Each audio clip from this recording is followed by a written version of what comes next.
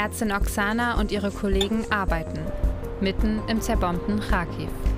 Immer noch, bis zur Erschöpfung und darüber hinaus. People es ist nicht leicht für die Menschen, zu uns zu kommen. Aber wir machen unseren Job weiter. Uh, Seit einigen Tagen operieren sie wieder. Eigentlich zu gefährlich unter Kriegsbedingungen. Aber nicht zu operieren sei für einige Patienten ein sicheres Todesurteil. Es kommen wieder mehr Menschen ins Krankenhaus. Sie halten es in den Schutzbunkern nicht mehr aus, vor allem die Kinder. Auch für sie ist Oksana im Dauereinsatz.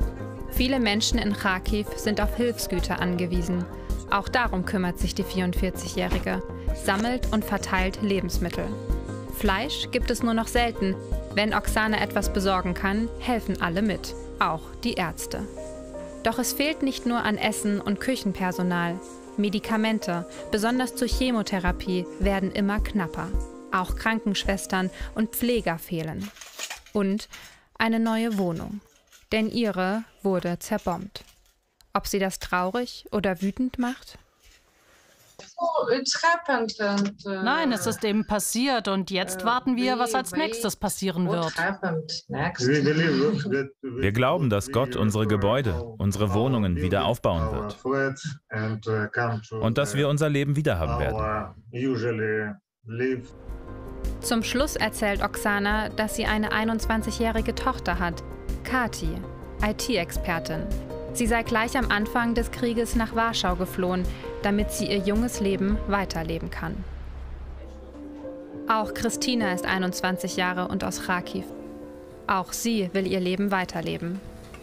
Doch ihre Angst lässt sie nicht los.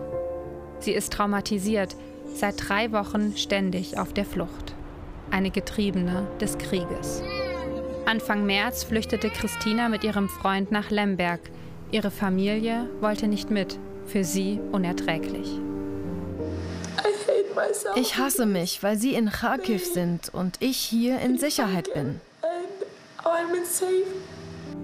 Nach zwei Wochen kommt ihre Familie nach. Große Erleichterung. Doch Christina fühlt sich nicht sicher in Lemberg. Die Angriffe kommen näher. Erinnerungen an Kharkiv rauben ihr immer wieder Zuversicht und Hoffnung. Ich habe keinen Sinn mehr im Leben uh, gesehen. Ich weiß nicht, warum ich uh, überhaupt noch irgendwo hingehen und arbeiten soll. Für was? Ich fühle mich so zerstört innerlich. Geld bedeutet nichts, deine Wohnung bedeutet nichts, deine Kleidung bedeutet nichts. Sie entscheidet sich, nach Polen zu fliehen. Ihre Mutter und Großmutter bleiben zurück in Lemberg. Und auch ihr Freund, denn er darf nicht ausreisen, so wie alle Männer in der Ukraine zwischen 18 und 60 Jahren. Nach zwei Tagen in Warschau überkommt Christina die Angst, der Krieg könnte auch auf Polen überschwappen. Sie flieht nach Berlin. Kurz spürt sie einen Hauch von Leichtigkeit.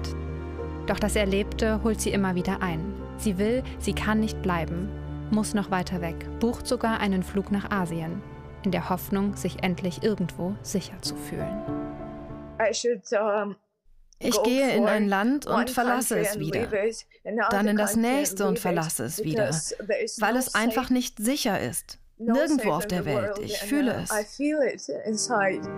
Bis sich die Lage in der Ukraine beruhigt hat, wird sie weiterfliehen vor dem Krieg und ihrer eigenen Angst.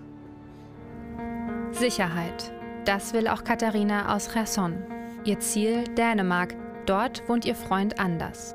Seit zwei Jahren führen sie eine glückliche Fernbeziehung. Doch dann kam der Krieg und damit die Angst, sich vielleicht nie wieder sehen zu können. Ich schreibe meinem Freund die ganze Zeit, dass ich ihn liebe, weil ich nicht weiß, welche Nachricht, welche Nachricht die letzte sein könnte. Die Situation in Cherson spitzt sich zu.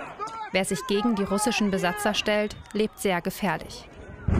Mitte März schreibt Katharina, Menschen verschwinden auf einmal in meiner Stadt. Das russische Militär hält nach Aktivisten Ausschau, nach Leuten von der Polizei, vom Sicherheitsdienst und nach ehemaligen Soldaten. Die kommen zu ihnen nach Hause und legen Minen unter die Türen. Das ist total beängstigend. Kurze Zeit später erreicht uns überraschend diese Nachricht. Ich bin jetzt im Zug Verlässt du die Ukraine? Ja, ich bin auf dem Weg nach Polen. Ich weiß nicht genau, wann ich sie sehen werde, aber es wird wohl bald sein. Auf jeden Fall noch heute. Ich bin unglaublich aufgeregt. Ihr Freund Anders hat sich sofort auf den Weg nach Krakau gemacht. Und tatsächlich. Endlich können sie sich wieder in die Arme schließen. Gemeinsam fliegen sie nach Dänemark. Was nach romantischem Happy End klingt, ist für Katharina nur schwer zu begreifen. Mein Kopf war mehr beschäftigt als glücklich. Erst jetzt fange ich an zu verstehen, was passiert ist. Erst jetzt kann ich anfangen, glücklich zu sein und Anders Gegenwart zu genießen, zu spüren, dass er wirklich da ist. In Cherson hat Katharina wochenlang nicht das Haus verlassen. Nun realisiert sie langsam, dass sie in Sicherheit ist und sich frei bewegen kann. Stell dir vor, ich kann rausgehen und Bananen kaufen. Ich muss nicht im Haus bleiben und von ihnen träumen oder vier Stück wochenlang aufbewahren. Ich kann rausgehen und Bananen kaufen. Das ist nicht selbstverständlich, verstehst du?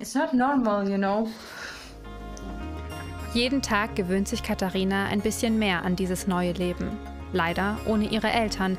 Zwei Wochen habe Katharina versucht, sie zu überzeugen, mitzugehen, doch ohne Erfolg. Sie bleiben zu Hause im Krieg. Christinas Flucht geht weiter.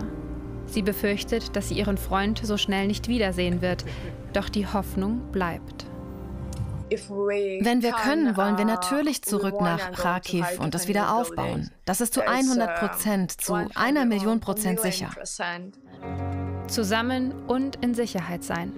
Katharina will jetzt Dänisch lernen, wieder als Ingenieurin arbeiten.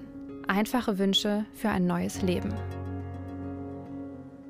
Wir sind nicht romantisch. Offensichtlich nicht. Aber es ist wirklich so gut, dich zu sehen und dich bei mir zu haben. Ja.